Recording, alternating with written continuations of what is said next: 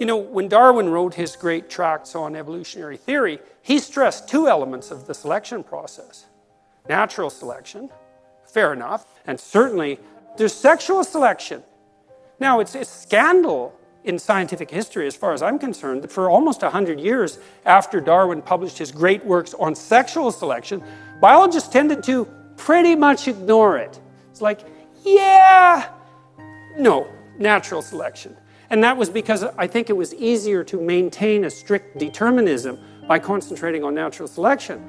The tricky thing about sexual selection is how is that not conscious choice?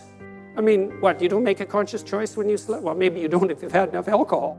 I wouldn't, I wouldn't you know, recommend that as a long-term mating strategy, but you tell me that the conscious choice of women specifically is more complex in the case of men, because we're an easier, we don't have as much at stake, and so we're not as choosy. Women are exceptionally choosy. And certainly, it's like a truism among evolutionary biologists that part of the reason that we had such rapid cortical expansion is because of sexual selection. It's like, how is that not the action of consciousness on matter?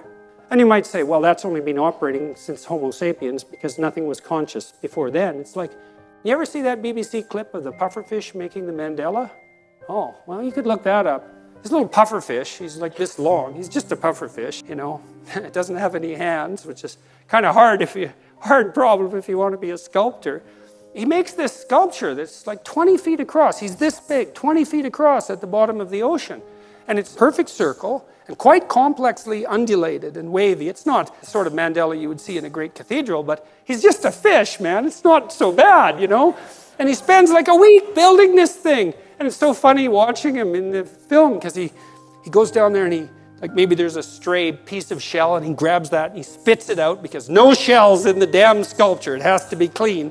And then he, he pops up and he turns one eye like a bird and he looks at it and then he goes down and waves a little sand into place. He's making these dunes that are like a foot high and there's like 400 of them. And then you see an aerial shot of it. It's this, really, it's the size of this stage. And then this female pufferfish comes along and, you know, checks it out, and sees if he's got what it takes. And if he does, away they go. It's like, it isn't obvious to me at all that that pufferfish isn't conscious. And I would say, say, well, you're anthropomorphizing. It's like, okay, let's have that discussion. So I'm pretty familiar with the animal experimental literature. And the greatest animal experimentalists, especially those that study motivation and emotion, so they're the ones that are delving very deep into the neurophysiological apparatus, their basically rule of thumb is you anthropomorphize except when there's a reason not to.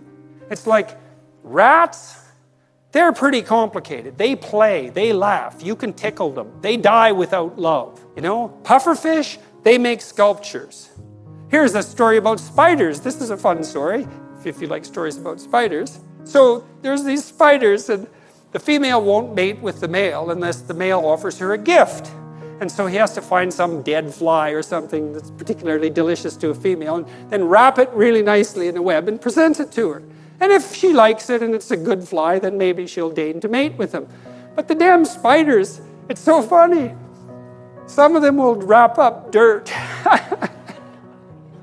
and present that. It's like, they tend not to get away with it, you know, but sometimes they do, so that's pretty funny. But what's also funny is sometimes the female will eat the fly and leave the guy, you know, in his, in his, in his agitated state, let's say. Like Frans de Waal, who's a great primatologist, just wrote a book called Are We Smart Enough to Know How Smart Animals Are? And the answer to that could well be no. I mean, octopuses, for example, man, those things are smart, and they can do all sorts of things we can't do. You know, they can transform the texture of their surface as well as the color to match an underlying rock. It's like they'll clamp onto a rock and then poof, they're exactly like the rock. It's like, that's hard. And it's hard to imagine how something like that is possible even without the intermediation of something like consciousness. And I cannot see at all how you can be a biologist and believe in sexual selection and think that only random factors determine evolution. It's like, what about mate choice? Well, yeah, no, no, no, really. What about mate choice? Really? And you might say, well, that's not aiming at some determinate end, and that's complicated. And that's worthy of discussion, but it's not obvious to me at all that in the human case, it's not aiming at some idealized end. I mean, we certainly look for something approximating an ideal in a mate. We want that, and we want to encourage it if we don't have it to begin with, unless we're, you know, bitter and resentful and jealous. And so we are pushing towards an ideal that's at least implicit, and it governs us at every level of our social interactions.